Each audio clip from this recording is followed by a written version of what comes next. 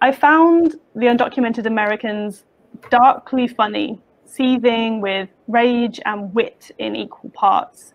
I think it's also a book that's full of care and compassion. It made me laugh and cry in one sitting.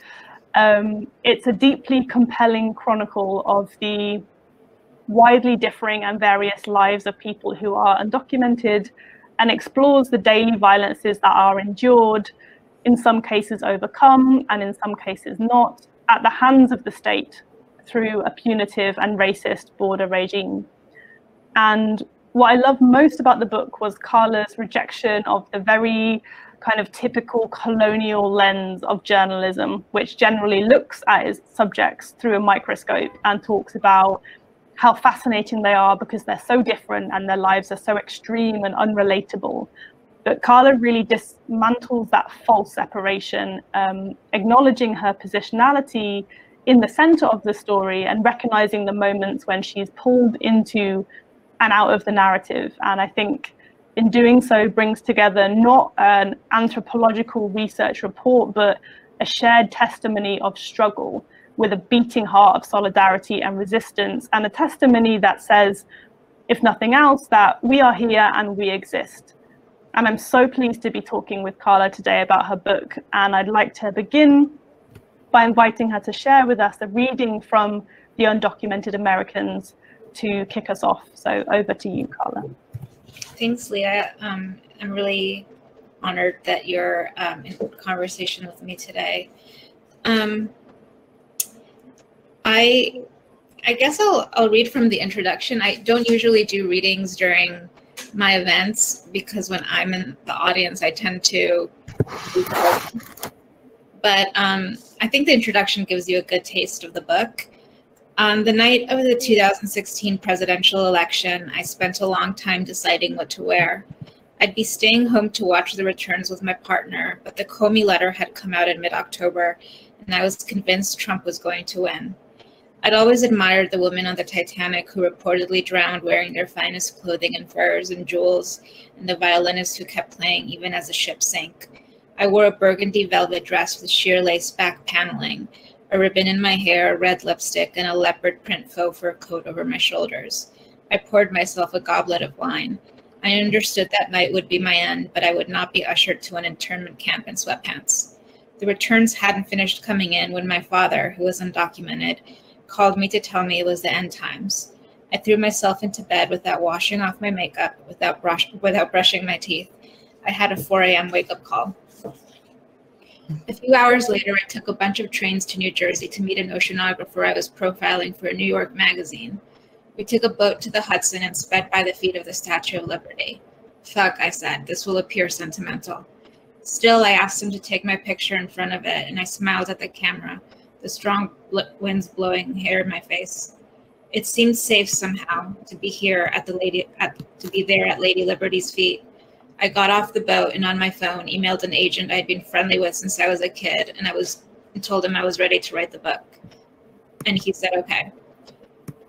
When I was a senior at Harvard, I wrote an anonymous essay for the Daily Beast about what they wanted to call my dirty little secret, that I wasn't documented. It got me some attention. It was a different time. And agents wrote asking if I wanted to write a memoir. A news program asked to film me when I fucking packed up my dorm to show, I guess, that I was leaving Harvard without any plans, without even the promise of a career. This was before DACA. I was angry. A memoir? I was 21. I wasn't Bar- I wasn't fucking Barbra Streisand. I'd been writing professionally since I was 15, but only about a mu- only about music. I wanted to be the guy in high fidelity, and I didn't want my first book to be a rueful tale about being a sickly Victorian orphan with tuberculosis we didn't have a social security number, which is what the agents all wanted. The guy who eventually ended up becoming my agent respected that. I would write, um, hmm. that morning I received a bunch of emails from people who are really freaked out about Trump winning, and the emails were essentially offers to hide me in their second houses in Vermont or the woods somewhere or stay in their basements. Shit, I told my partner, they're trying to Anne Frank me. Um, by this point, I've been pursuing a PhD at Yale because I needed the health insurance and had read lots of books about migrants and hated a lot of them because I couldn't see my family in them, because I saw my parents as more than laborers, as more than sufferers or dreamers. I thought I could write something better, something that rang true. and I thought I was the best person to do it. I was just crazy enough. Because if you're going to write a book about undocumented immigrants in America, the story, the full story, you have to be a little bit crazy. And you certainly can't be enamored by America. Not still. That disqualifies you. I think that's a good natural ending. Great. Thank you so much, Karla. Um, I love the introduction to your book. I think it kind of gives such a good taste and, and flavor of your writing and how kind of engaging it is. Um, in the introduction, you also write about um, journalism as drag, and you write when you are an undocumented immigrant with undocumented family writing about undocumented immigrants, it feels unethical to put on the drag of a journalist. And later you also write, I am not a journalist. Journalists, to the best of my knowledge, do not try to change the outcome of their stories. And I really related to this because I used to write for a magazine myself and also kind of resist the mantle of journalist, um, as so much of my writing was about trying to change outcomes, whether it's you know raising awareness of different topics or campaigns, um, if people are facing deportation or workers going on strike. And so when you say in the book that you're not a journalist, I understand you to be talking about the way that people with papers, white people, people who aren't from migrant communities who write on these topics of race and migration often write with this very anthropological lens, whereas you, as you say in the book, you're writing from a place of shared memories and shared trauma. Um, can you kind of talk a bit about the strength and solidarity, but also perhaps the challenges that come from writing on a topic that you're you know very much at the center of not removed from but directly experiencing as you write? That's a good question. Um, i don't know how you relate to this but uh, at the beginning i mean I, I, could only really take that approach in writing this first book um, because um, i think that some of the relationships i was able to cultivate and um, the approaches that i took were kind of a uh, were kind of good for just like one time only. Mm-hmm. Um, I was completely not boundaried with the subjects, and um, some people um, I formed really close relationships with, and took on their pain as my pain, and it allowed me incredible access into their lives and. Um, I completely allowed my own traumas and my own relationships that were falling apart with my family or with this country or with myself to um, inform the way I, I, wrote about a collective. And um, that, you know, lack of separation between self and subject and between life and work is not something that's sustainable. And that is something that I think journalists who are experienced know. Um, and journalists who are from the communities that they co- that they cover something that they have to work on. And i sort of hadn't put a lot of thought into that. Um, and it, it is something that i had to do you know and it is something that i'm proud that i did but that i only could do once. Um, if you know i'm writing about immigrants now um, for publications um, that are it's not you know creative nonfiction it is journalism and it's reporting. Um, and I am allowed to write in the first person and use my voice, just no magical realism. Um, and the ways that I am thinking about it now are, you know, how do I also create familiarity and trust and access um, while still maintaining some kind of boundary around myself where I don't um, and I think it's I think it's a I think that's an interesting question, and I think it's a question that everybody who has you know skin in the game um, grapples with. It's not just me. Um, I um, there are some things that I'd like to do that I can't do based on the publications I write for, like change names or change identifying details. Every publication has its house rules, mm. and person who was undocumented and who has undocumented family, I want to be extra protective. I want to, you know, I want, I want nothing to leak. I want to protect them as much as I can. Um, and there's some things that I can do in my personal, in my own books that I can't do for publications. But in terms of the ethics, the representational ethics that I can bring to the publications, mm. which is exactly as you say, to steer away from a gaze which is um, here. I don't know if it's common to say in the UK, but here um, migrants are all, all one they're called undocumented workers, um, and two they're said to be in the shadows. Um, and so those are two things that I actively write against. Hmm. Yeah, I think I think your book is so powerful and it's very kind of un- unapologetic um, annihilation of those very tired and flattened stereotypes of undocumented people, um, which is this kind of broad sweeping category containing like such a multitude of lives and experiences, right? It's not this kind of monolithic experience, of course. Um, and I really appreciated how the breadth of your interviews and your attention to detail represents people with all of their kind of quirks and foibles and their hopes and dreams and disappointments.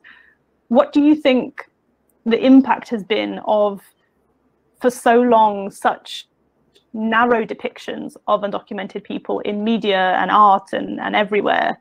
And, and why was it so important for you to kind of push back against that and, and reshape that narrative in your own way? I mean, I think everybody knows the like you know the story of like growing up you know certain there are those of us who don't see us represented in the media. Um and you know the story goes that we like we're like upset because we don't have barbies that look like us. I think the story is like more like when we move in in circles that are you know of people that don't look like us and don't act like us and don't come from our communities, they treat us like we're the strangest, most magical thing on earth. And they're like, like, how could you possibly exist? You know, I didn't I, I played with white Barbies. I didn't care. You know, there was a there was a there was a brown skinned Barbie. Her name was Teresa. I didn't care for Teresa. I remember Teresa. care for Teresa. Teresa was boring. She had boring clothes.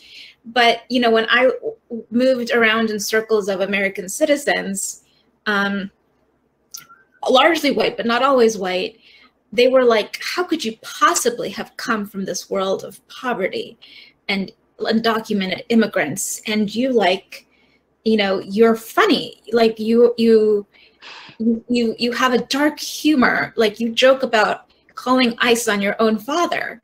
Like how could you how could you both be scared of your father being deported, but also make jokes with your brother about it? How could that exist? And I'd be like, well, I grew up watching SN Saturday Night Live, and you know, I think that all white people are Jewish comedians because that's what I grew up watching on television. And they were like, how could you exist? So that is what the lack of representation felt like to me. Um, it was that in the world, people believed the caricatures. And so when they met people who didn't weren't caricatures, they really bent us to fit the caricatures. So that if I ever got angry, or if I ever cried, or if I um, wore something slutty, it was like, ah, there it is, there mm-hmm. it is. I knew it. That's that's the caricature, and the parts of me that didn't fit were seen as just being like magical parts of me. Um, and so what I did here was like, I simply wrote what I saw. You know, I simply wrote what was interesting to me about people. Um, and, and the people that I met, you know, I was like, this lady seems to not like being a mom, you know, and I can relate to that.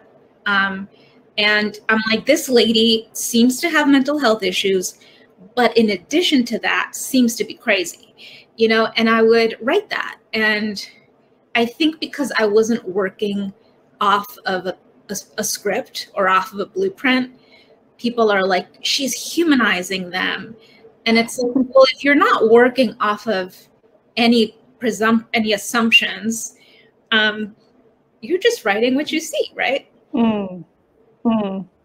And I guess that's yeah the most kind of normal thing and like to us perhaps like not revolutionary particularly right you're just kind of meeting a person and you're telling their story and it's it's um it's noteworthy that that is remarkable to just kind of tell the story of an everyday person and yeah with all of their their quirks and different attributes um i think part of why i find your book so refreshing is the way that you do transcend those very typical boundaries of the form. You're a researcher, but you're also someone, you know, living at the sites of different intersecting oppressions. You're an experienced and seasoned writer, but you're also very clear about your own positionality within the work. And there's a line that really struck me towards the end of the book where you write, I'm looking to interview children of immigrants partly to get a blueprint for myself because I'm lost and I am scared and it really struck me because it's so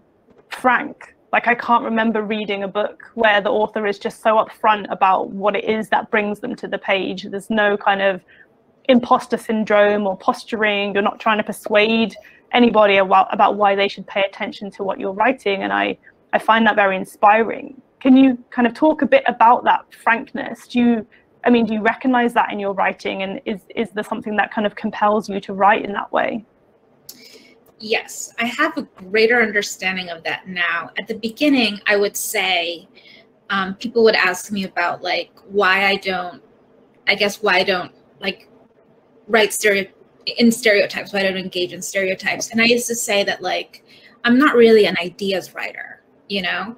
Um, someone in my imprint is Ta-Nehisi Coates, and I look up to him a lot. And um, I think of him as the big brother who does not know I exist. And he's an ideas writer. Um, he's a fantastic writer, but he also has fantastic ideas. I think of myself as someone who is good on the sentence level, but is also good at taking things that are cliches and that are around, you know, in circulation, cliches that are in circulation, and like breathing life into them where you can understand what they what they really are. Mm. And um, and I don't think it's possible for me to be um, dishonest in the writing. And I and, and it is a great strength, but um, over the past year, um, I've uh, through conversations with my partner and my psychiatrist, um, I've learned that I'm on the autism spectrum, and um, I'm become so much more aware of uh, some of the writing that is informed by that and is informed by the way that my brain works and the way that I view the world. And I find it um, important to tell people how I'm feeling and um, why I'm feeling what I'm feeling. Um, and to sort of describe my primary emotion and my secondary emotion. That might not be everyone's experience, but um, it is the way that I engage with people in real life um, and uh, some something that I you know have is is um, if I'm you know angry about something, I I know that I I express anger because I'm actually sad about something, and then I'm probably sad because I I feel like I'm gonna be abandoned or I feel like I'm like you don't love me. Like those are my great fears, mm. and so I will express that to somebody, and um, people are not really used to being spoken up to that way where i'm like i'm really i'm angry at you but i'm actually um, sad. And the reason i'm sad is because i think you don't love me. And people are like i'm i'm your friend and i just snapped at you you know? And in my writing i find it important to be like i'm in flint and i am really upset right now. And i could say i'm upset about capitalism but really, I know I'm upset because I want to tell all of these young people to go to college. Mm. I think that will save them, but I know it won't save them. And I know I'm supposed to believe that college is not for everyone, but I don't know what else to tell them. And and it's truly what I feel. And I think that acknowledging the complexity of an emotion and also what an emotion is masking um, is really important for those of us in communities where where there are secrets and where also there's like autistic masking for girls and women where you have to sort of appear neurotypical in order to make it in the world.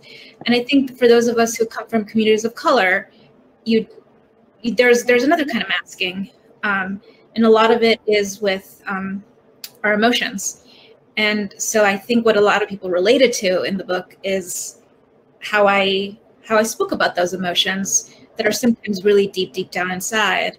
Um, I don't think I can hide them, um, but I also think that I make them accessible to people in a way that makes it less scary. Mm. I definitely felt that reading the book. You kind of there's a sense of giving permission um, for the person who's reading it to acknowledge that. I mean, if, if you're somebody who can kind of relate di- directly to the experiences that you've shared in the book um, and the people that you've spoken to, to acknowledge the kind of profound impact that it will have on you and and the emotions that arise from that. I found that very powerful. Um, you mentioned kind of not or not considering yourself an ideas writer, but I think in your book, which I think could be described as creative nonfiction, you write about fiction as a means of reclaiming the dead, and there are so many beautiful moments where you explore um, kind of possible narratives or realities for people that you meet or hear about. Um, for example, there's a moment where you imagine the scene of a man who drowns in a basement during Hurricane Sandy. Can you talk a bit more about the the power and importance of fiction as a, a, reclamation for communities whose narratives are so often kind of pushed, I won't say to the shadows, to the margins, and whose stories, um, lives, and deaths in all their nuance are so commonly whitewashed from history? Yeah, I I I thought that scene was important because um,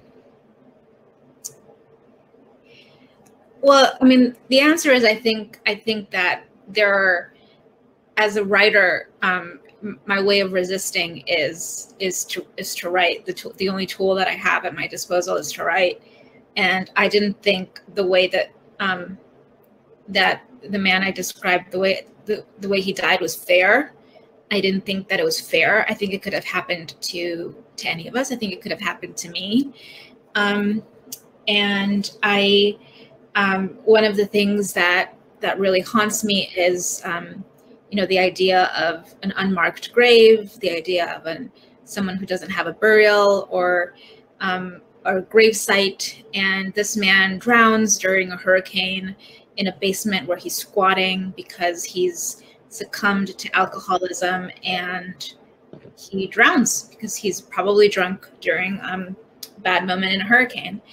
And I thought that's that's not how he should go.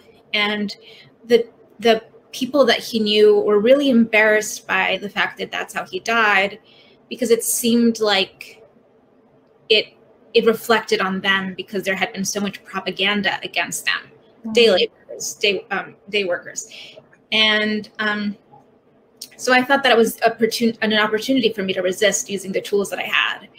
Um, um, I know this is not the way that it's meant to be interpreted, but I've always thought about how you can't use the master's tools to dismantle. Um, I I've always been like, I have English, um, and I have the ability to write, and I have, I'm quite well read. Um, and I think using the master's tools sometimes works. Um, and so I, I, I thought that I would just write a different ending. Um, I alert the reader, um, but it doesn't make it any less powerful. And then I, I, I believe that the reader has an emotional experience, and I'm saying, look how true this is too. Um, and I think that um,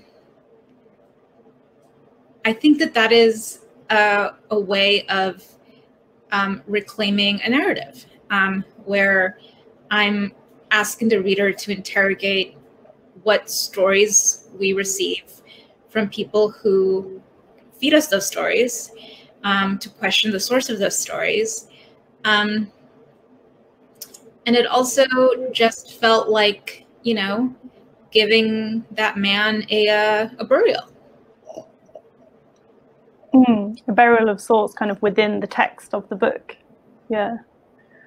Um, I just want to remind people at this juncture to kind of put your questions in the chat. Um, in maybe five or 10 minutes, we're going to have a bit of time um, where I will put your questions to Karla. So please do share those with us. Um, otherwise, I'm going to keep plowing on with mine. So if you want to interrupt that flow, then put some questions in.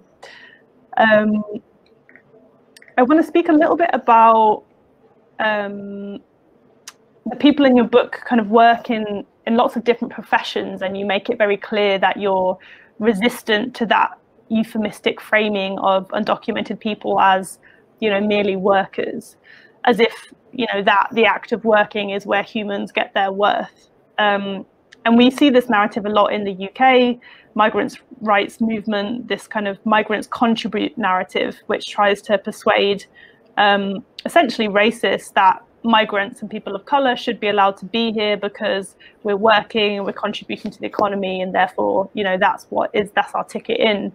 Um, and in my own book i argue that people of color and migrant communities actually have a right to access the resources and opportunities that were hoarded in this country through colonialism. And I find this whole kind of migrant migrants contribute narrative not actually helpful in the broader struggle to just have our humanity recognized. How do you see this um, kind of playing out in the US context at the moment? Is there this continued idea that people need to work and be, um, you know, productive economic units in order to prove their right to be there? I do. Um, I do. I think that um, I think it's it's it's a, it's um I think it's something the the U.S. just generally uh, just does. I mean, not just to migrants, but also the way that it thinks of disabled people um, and the way that it um, thinks about um, you know quote minority populations in terms of their economic output um, and their you know ability to you know, the, the way they calculate social capital. It's something that I've thought about a lot. Um, um, you know, one is right, of course, that you know when when they talk about immigration reform, one of the big things that they talk about is how much we contribute to the economy. When they talk about like young immigrant, you know, young immigrants, they talk about um, all of the uh, the professions as doctors, lawyers, teachers, where they're you know in these really respectable jobs, although you know most of them are in, most most are in service jobs, which are the backbone of the economy. But if you talk about that, then it gets into conversations like necessarily about why the backbone of our economy is built on like black and brown people working service jobs and why we don't raise the minimum wage. So we don't want to look at that. So we talk about the ones that are doctors and lawyers and like let's not talk about teachers too much because then we talk about why we're not supporting teachers and um, so the focus just gets just it's, it's such a romantic portrait of um, migrant contributions. And I always just feel crazy when we talk about that because I'm like, you want you're you're saying that you want to keep us here, and you're the good guys, but you're saying you want to keep us here because there's a lot of us, and and we they you know we work my like my dad like they work really hard for very little pay and you don't have to pay them benefits and that you know you can threaten to fire them if they ask for, for a day off. So you want to keep them here because you're saying that you're saying that that that's what you like and so why is that a selling point that should feel good to me like you're saying it's it's implied that that it's um it's it's a selling point for people who are not on my side so, um, so I've never liked that when that talking point has come from from other immigrants.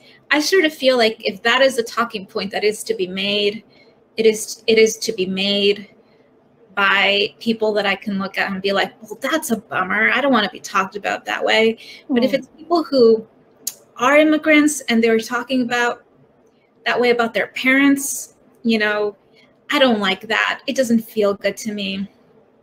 Um, yeah, and um, and I feel like just in ways of people, just it's so dehumanizing to hear people trying to be nice and calling someone an undocumented worker. Mm. It makes me think of a donkey. It makes yeah. me makes me think that people are trying to refer to us, but they're just thinking of us of donkeys who can just carry a lot on our backs. Um, it just doesn't. It just. It's. I don't like it. Mm. It's very kind of flattening and two dimensional to kind of just the main thing about a person to be about the potentially incredibly exploitative labor that they're they're they're carrying out. You know, I like undocumented immigrant is fine. Like the word immigrant isn't. I think people think that the word immigrant might be offensive. Like I'll never forget. This was the first time that this was planted in my head. I don't watch The Office. I think um, at least in America, the American Office. I mean, my respects, but like in America, the American Office. Um, liking it is a little bit normy, and um, and like boring people watch it. Okay. Um, there's this one scene where um, someone asks to um, there's a Latino character and he's and the you know the the boss character says what should I call you? He says call me Mexican. He says that just doesn't feel right. Um, so there's this idea that like calling people immigrant is kind of a slur.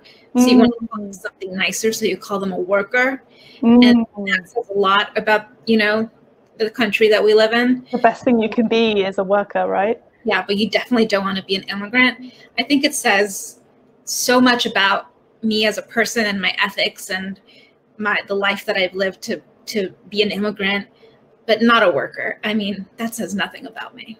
Yeah, yeah, that makes sense. I think, um, well, based on my own experiences in the kind of UK context, there's a preference over the use of migrant rather than immigrant, um, because immigrant is often coupled with illegal. Um, so, so, you'll be called an illegal immigrant in the kind of right wing press, um, and then the kind of migrants' rights left wing uh, movement, yeah, tends to use migrant more. But yeah, it's a kind of a, a small nuance. But I think it's interesting how yeah, the the choices of language definitely shows what that person is valuing and what they're what they're looking for in, in someone in order to value them. Is my book when I say immigrant in my book, is it changed to migrant in the UK version? Oh, that's a good question. I think I use immigrant and migrant interchangeably or sometimes mm. migrant pointedly in my book. Um, but I'm gonna check later. yeah, that, that'd be interesting to know. Yeah. Um, Otherwise, someone's getting fired. We've got a couple of questions, so I'm going to take a look at them. Cool, I'm going to read them out. Um, we've got one from Anita. It says, How have you found the response to the book? Who did you hope would read it? And do you think those readers have found your book? Well, as far as the UK, I'm hoping Alex Turner will read it. Um, he's watching this right now. Hi, Alex. Um, you know, in America, it's um, it's a lot of children of immigrants. Um, it's a lot of children of immigrants. When I was writing this book, I really thought it was going to be white ladies um, who read, who you know, who follow Oprah's advice about what to read and um, and that was in my head. It was in my head, and my editor um, was like, "You need to get that out of your head." And and it's it's true because I've never written for an audience, and it's it's ter- it's terrible to write for an audience because it's um it's just not good as an artist. Um, and so I wrote, I just wrote what felt good, and I wrote for him. Um, and what the reception was surprised me, which was um, it wasn't a bestseller, although it did well, right? Because Latinos in this country don't have a lot of social and cultural capital. You know, we don't have the numbers of book buyers to drive a book to, to a bestseller list. But there were so many undocumented youth and so many children of immigrants, not just Latinx, but also, um, you know, Asian American, um, African, that bought the book and that really related. Um, and it, it, was such a strong, I would say the, the, my biggest audience is children of immigrants who are in their early 20s, late 20s, mid 20s. Um, it's a younger audience than I thought. Um, and it's like a, a browner and blacker audience than I thought. Um, somehow, the Oprah White ladies are not reading my book. it was a surprise to me. How dare they? Um, yeah, I mean, I think there were. I'm going to throw in another of my questions. Abuse my role as chair. There's um, lots of kind of very darkly witty moments in the book, and I really like the point where you said, "I'd honestly rather swallow a razor blade than be expected to change the mind of a xenophobe," which I just thought was perfect. And it really made me think about a book by the British author Reni Eddo-Lodge, which is titled "Why I'm No Longer Talking to White People About Race." Um, which is kind of tongue in cheek, right? It's kind of what you're saying. The people who need to read Reni's book, um, well, lots of people need to read Reni's book and your book, but some of the people who need to read them are those white ladies who, who need to learn about racism um, in this country and the US in all its forms.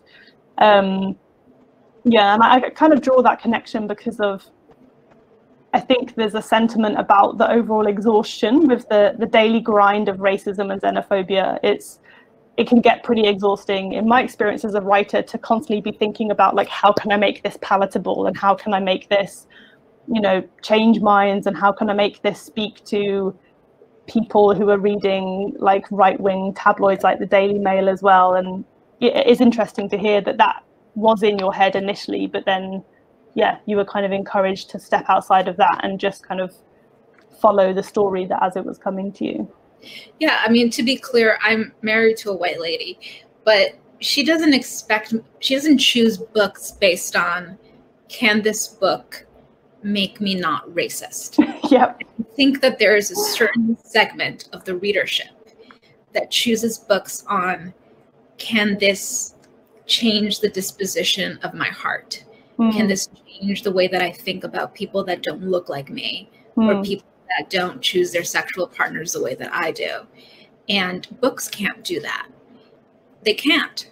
And um and and I think some sometimes um sometimes, you know, it's in the United States what would happen sometimes is when there are mass shootings um and they um they target a certain ethnic group books about you know books written by someone in that ethnic group become bestsellers hmm. because Americans want to consume something by that group, you know. Um, and I find that so troubling. It's like during the highest points of the Black Lives Matter protests, you couldn't buy some of these books by our greatest Black authors. And America wasn't suddenly becoming more anti-racist um, or more enlightened. They were just consuming. Mm. They were consuming and they were performing. Mm. Um, same thing happened when there was, um, you know, targeting and mass shootings of Asian immigrants and Asian Americans. Um, it's perverse, and I believe these books should be bought and bought out. Um, but why does it happen when our people are being murdered? Um, and so I, I find that that is very much tied to, you know, can this book change my mind? Which is why I don't even try. Mm. Yeah, absolutely. I'm going to share another question um, in the chat, which says, How can we avoid and challenge the stereotype of the deserving immigrant or migrant? you know, I think it's hard because, you know, um, I, will, I will say, you know, when there's a crime, and there's there, there, there's a report of a violent crime, the first thing I think of is please let it not be, you know, a migrant. Please let it not be a migrant, because um, because I, I know what it's going to look like. I and and if it you know if it is, I'm like, could you? Why couldn't you have behaved? Yeah, making it harder for all of that. you know, um, I know that that is what some of my black friends feel when you are the person who is supposed to represent your entire race, your entire citizenship status, your entire ethnic group. Um, that's a lot, you know? And I think, um, so just to sort of think about it in that way, like if you or your brother or your brother in law, if your mistakes, if your worst moment, if your character was used as the barometer for your entire community, your entire family, your entire race. And based on that person's actions or that person's behavior one day um, or their worst moment, if whether you had rights to see your children, to drive a car, to be able to see a doctor, like how insane that would make you. Like that is what you should think about when you think about like, of course, it's great to see in the news that you know, if someone came in as a refugee and now they're getting a PhD, you know, like that's good news objectively. But if you start to see that you're hungering to get the, to, for those kinds of accomplishments when you think of refugees, or you're hungering for those kind of accomplishments when you see a brown person, when you see a black person, um, just just think about that. Just think, why do I require that level of um, you know that level of of of just rarity because that happens so rarely among any of us in order to to to believe that somebody deserves what i have. You know why why does that person need to achieve so much more be so much more um, be so so grand in order to have what everyone else has just at the basic level.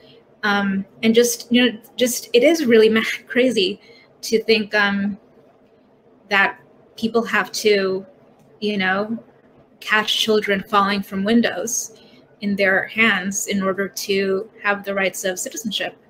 Um, and that is i think something that's in the back of migrants minds all the time, which is like you do have to sort of be a superhuman in order to just have basic rights. Yeah, you have to do it's that whole kind of working twice as hard to do half as well and yeah, having to go above and beyond because the bar for you is so much higher. Um, I feel like part of it is that kind of symbolic annihilation of not not seeing yourself represented anywhere really positively in a, in a significant way whether it's in you know art or media or the news. When you do get these crumbs people kind of hang on to them and think like oh this is this is it. This is everything. This is like you know in the wake of the george floyd protests i had people dming me saying like you know what the what the black people need or blah blah blah. And i'm like i, I can't i can tell you what this black person needs but i can't like speak for you know dismantling capitalism probably but i mean it's yeah that's the outcome of that isn't it? Not not having those meaningful representations and and uh, yeah existing in that way. Something i tell people all the time is um, you know you've probably seen the images in america of the children covered in aluminum blankets in the detention centers at the border that seems to really capture people's imaginations, but that is not the only aspect of migration.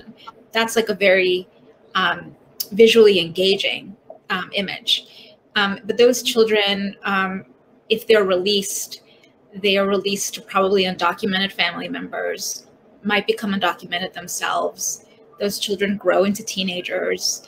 They turn 18. They become, you know, they, they enter our neighborhoods and people need to check in on those people because those people become their neighbors. They need to not just worry about them when they're covered in the aluminum blankets, right? And um, so sometimes people ask me, like, what can I do about the border crisis? And I'm like, the border crisis is in your neighborhood too. It's yeah. like the people who work in your grocery stores and in your restaurants and and like you can you can address the border crisis by tipping well like you pro- you can always tip better probably. I mean if you're in the financial position to do so you can do that. Um, and people just really want to like do something about the border. And i'm like think about your your impetus for like flying out to do that and not you know knowing the names of who makes your breakfast sandwiches or making sure you tip at least 20% um, it was sort of like the thing during um, George Floyd's murder where people were checking in on black friends that weren't their friends.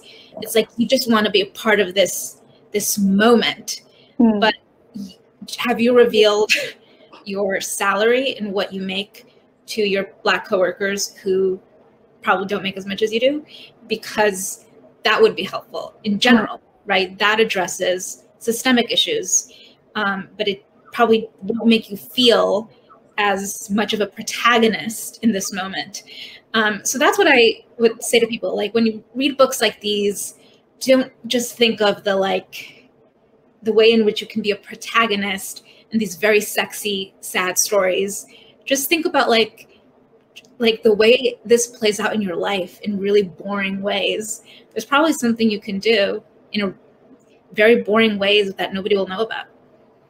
Yeah, that's the whole thing, isn't it? The optics on like those everyday acts of solidarity just aren't as as exciting as like yeah, whether it's flying to the to the border or flying to you know Calais, which is a big um, not so big anymore, a, a camp um, in northern France where people would sometimes kind of go and volunteer like it was a festival that they could just go hang out at. Um, a lot of people did go and work there in very meaningful ways, but yeah, that was a bit of a tension. And as you say, those more everyday acts of, you know, checking in on your neighbors and can you help them write letters to the school so their kids can get free school meals if they are undocumented and those types of things just aren't as uh, yeah as you say exciting you don't become the kind of savior protagonist in that story in the same way but they're incredibly important um, Okay, we've got some more questions. Another one is um, Do you read poetry? And if so, which poetry inspires you? Um, you know, I really like um, songwriting is very important to me. Um, I do read poetry. I am a big fan of Eileen Miles. Um, Eileen Miles uh, graciously and shockingly uh, blurbed my book. Mm-hmm after I adored them for many years. Um, you know, Eileen Miles is one of those uh, writers who I can't read them without putting the book down and wanting to write myself. Um, and I feel that way about um, I feel that way about Robert Lowell's poetry. Um, I feel that way um, about Alex Turner's songwriting. I, you know, I've heard that said about um, the Pixies, which was in reference to something that was said about the Velvet Underground, um, which I think is a way that a lot of young people feel about my writing, which is that you can't you can't hear it like it, like not huge best-selling stuff, but you, you can't hear it without wanting to start your own band. Mm. Like you can't listen to the Pixies or the Velvet Underground without wanting to start your own band. I can't read Eileen Miles without wanting to write myself. Like it just it's just a sensation I have. And I think a lot of um, young people who read my book, they they're like, I think I can write too. Like I think I want to write too. Um, and so I think there's like the overlap across all of that um, is, um, or you know, when I listen to the Arctic Monkeys, I text my agent and I'm like, what's the writer equivalent of playing at Glastonbury? Um, I think uh, the, the, the, the thing all of that has in common is a certain rhythm to the sentences or a certain rhythm to the words. Um, and I really like that. Mm. It's a funny serendipity. I saw a guy wearing an Arctic Mon- Monkeys t-shirt today walking down the road, which is not a usual sign. So I, li- I, like that you also mentioned them too. Um, yeah, there's something great about reading or, or just consuming a piece of art that makes you think I can do it too. Um, I think a lot of the feedback I've got on my book is people saying, "Oh, it's really accessible," And initially, I was like, mm, "Is this coded? Are they saying that it's like basic or like I don't know?" But I've chosen to interpret that as meaning that like, yeah, it's it's something that people can understand and digest and go and share those ideas and talk about, and that's surely a brilliant thing if you're writing to kind of communicate. That's that's surely the whole point. So I, you know, when my book was originally um, in libraries, it was cataloged in either adult or in young adult, Ooh. and I was like, how can this be young adult? Are they are they doing that because I'm brown? Ooh. And then I was like, um, when I read that about the Pixies, I was like, no, that makes sense because what the Beatles is, is accessible, right? Like when people listen to the Beatles, they're like, or Nirvana, they're like, this is these are three chords. Yeah. Like let me start my own band. Yeah. Because it's brilliant and because you're like, this is this is um it's um I mean it's hard to describe. It's like it's so much a person's authentic self. Um, where with with where it doesn't seem like it was made by a committee, yeah. you know. Um, and I think uh, and and you're and you can sort of see the way that, that a person's brain works. And um and i and i love that. I think i love when i can sort of break apart a clock and see how it works. Not in real life. I, I would not do that. Like in terms of art and like i've met eileen miles and eileen talks the way that they write. Um, and I've lied on Instagram about going on tour with Alex Turner, and I'm sure Alex talks the way that he writes. I'm sure you do as well. Um, great. Well, maybe we'll round off with a last question um, from Lighthouse Books. That feels like a fair way to end things as, as they've brought us together. Um, the form of the book is so playful and provocative and pushes the boundaries of reportage, which you and Leah talked about. I wonder if you had pushback from your publisher about how you chose to tell these stories, your stories, and how you handled that. Okay, well, before this started, Leah and I were talking about how I used to badmouth beefing our publisher. but now I've grown and changed. Um, how do I want to answer this question? Um, yeah, obviously, like, um, yeah, Oh, okay. yes, of course. Um, here's the thing when you want to do something that you believe in, you are probably going to have to bet on yourself. Um, when I was writing this book, I thought that nobody was going to read it. I thought that nobody was going to review it. Um, I, I was working with with another publisher initially, um, where I got feedback that gave me reason to believe it was not going to be marketed at all, um, and that it was not. They didn't think it was good, and so I was like, "This is these are my standards. This is my vision. This is what I want. Um, I have nothing to lose. This is sort of going to be my project." And um, I wasn't writing for an audience. At that point, I wasn't writing for an editor. It was purely my vision. And, you know, by the time I worked with my editor now, um, who's a fantastic editor and who is a thought partner in many ways, um, my vision was concrete. What I wanted to do with representation, what I wanted to do with magical realism, what I wanted to do with my voice was all there. And um, I wrote until you know, almost until it went to press. Like it went through so many changes. Um, and I didn't hit the right note until the very end. But you know, he pushed back on some parts, like the magical realism stuff, the the scene with the squirrel and the basement. He didn't like that, wow. but I felt strongly about that. And there are some times where ultimately the author has the ultimate power to veto something. Um, but I didn't want to use that power recklessly because he's smart and he knows what he's doing. But sometimes you have to trust your own vision and you have to be really careful about when you trust yourself too, right? So, um, what I tend to do in a document when I get edited is I don't look at the edits.